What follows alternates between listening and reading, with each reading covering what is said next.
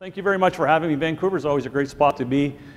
Um, I'm going to be talking about cybersecurity. Cybersecurity is a really interesting subject um, uh, because you know I really liked and David, thank you for that presentation today. It was excellent. Uh, really, I really liked when you talked about risk and uncertainty because what I'm going to be talking about today is really risk and uncertainty. There are things that we can look after, and there's things that we, we just don't know when they're going to happen. We don't know it, how they're going to happen, so we're going to go through that today. So I want to give you some stats. That's what I'm going to talk about.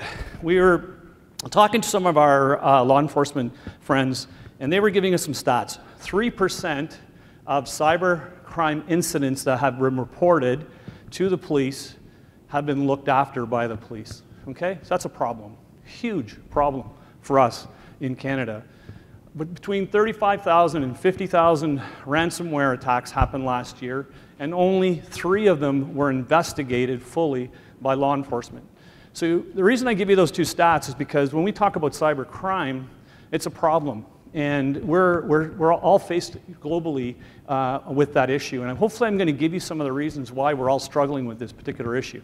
What I'm going to try to teach you today is that it's us that are part of the problem. And these statistics are just kind of playing on some of the things that we're going to be talking about today. So the reason I put this slide up, but it's not to really kind of talk about the FUD, the fear, uncertainty, and doubt, but really it's about are you gambling with your future? With, from a business perspective. And when I start talking about numbers and some of the people that have had major breaches and the cost that it's cost them, and they didn't know. Sometimes cyber insurance won't pay. We're going to talk about why they won't pay. Sometimes they, they don't do a good job in telling you, but other, other, the other side is we don't do a good enough job actually understanding what we should be, what we should be getting from a cyber insurance perspective. The big thing here is you're lucky if you haven't gotten breached, unless you're super prepared. And you may have haven't been breached. Remember those stats I gave you? 3% are only being reviewed by police. Those are incidences.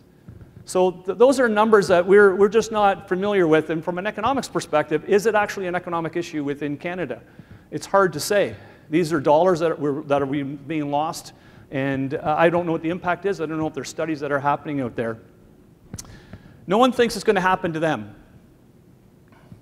And when you watch a TV show, you have a vision of a lot of people say, hey, that sounds like the CSI cyber. Dan, is that what you guys do? Mm, yeah, I guess there are components of it that we do, but in reality, you know, it's not, it's not that. I mean, that's Hollywood. And sometimes that's who we look to or we look um, um, towards, up to, to kind of get an idea of what's really happening in the world. The most important thing to remember on this slide, it's normally just money. That's what people want to do. And they're going to, if they're, when they take it, there's a bunch of different ways that they actually get financial gains. And I'm going to talk a little bit about that.